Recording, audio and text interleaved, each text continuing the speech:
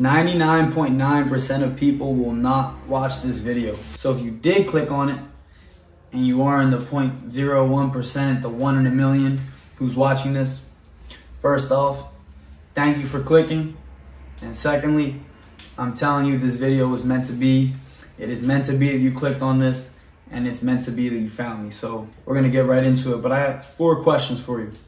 Number one, what is your number one desire and how will it feel to achieve it? Second, what do you have to sacrifice in order to obtain this goal? Third, what is your why?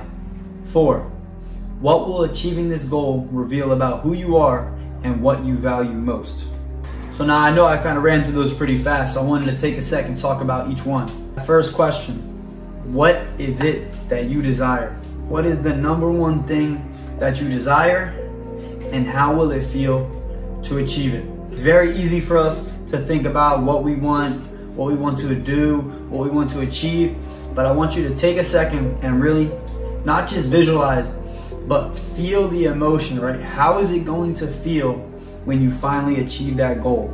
I want you to feel that sense of accomplishment, maybe that happiness, maybe that relief, whatever it is, take a sec and imagine how you will feel when you achieve that goal. I'd say imagining and visualizing how you feel when you achieve a goal is twice as important as just visualizing the goal in general. Second, what sacrifices, what things do you have to cut off in order to obtain what you truly desire, right? We all know what it is.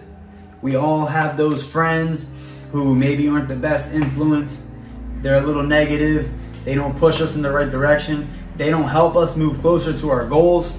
Maybe it's that girlfriend or that girl that you're always hanging out with that's holding you back, keeping you right where you are.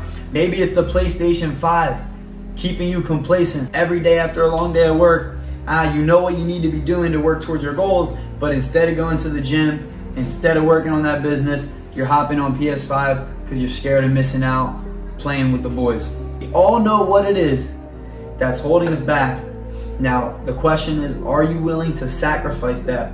Are you willing to cut those things off? Are you willing to give up sleeping in on the weekends, going out on Thursday night, playing video games instead of hitting the gym? These are the things that you need to ask yourself. And if you are willing to sacrifice what you want right now for what you really want, you will move closer to your goals.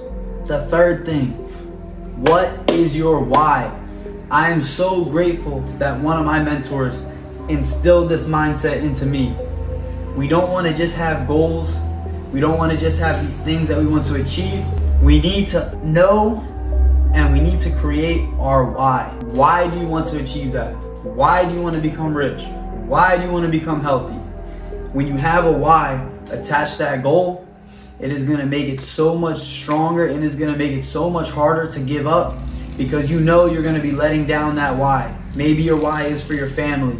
Maybe your why is for your girlfriend. Maybe your why is for yourself.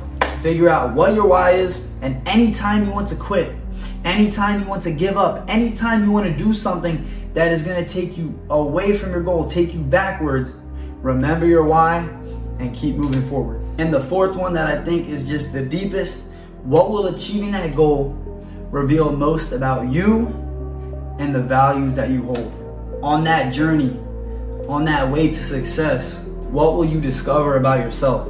Will you get to your goal by taking shortcuts, cheating, lying, putting yourself first? Or will you stay true to your values? Will you work hard, persevere, help others along the way, mentor? The list goes on, right? But I want you to really think about that last one.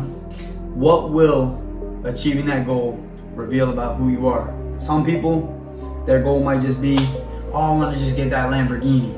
I mean, I don't blame you. I want a Lamborghini one day. My main goal is that C8 Corvette. Maybe to some people, might make me look like a bad guy one day when I'm driving it around, but I, I know when I'm driving that thing around, I'm not gonna be snobby. I'm not gonna let it change who I am. I would love for all the kids coming around to get pictures in it. I would love for my little brother to take that thing to prom. I would love for my grandpa, who has just been obsessed with Corvettes all his life, to be able to drive that thing around. So I don't know. Maybe that's my why to why I want to achieve that goal. But like I said, if you found this video and if you really watched it to this point, you're already setting yourself apart. So I hope you can take these four questions, really think about them, but not just throw it away and click the next video. I want you to take these things, keep them on the top of your mind, make sacrifices, know what you want, create your why, achieve your goals. If you've never seen my videos before, truth is, I'm just like you. I'm working towards my goals.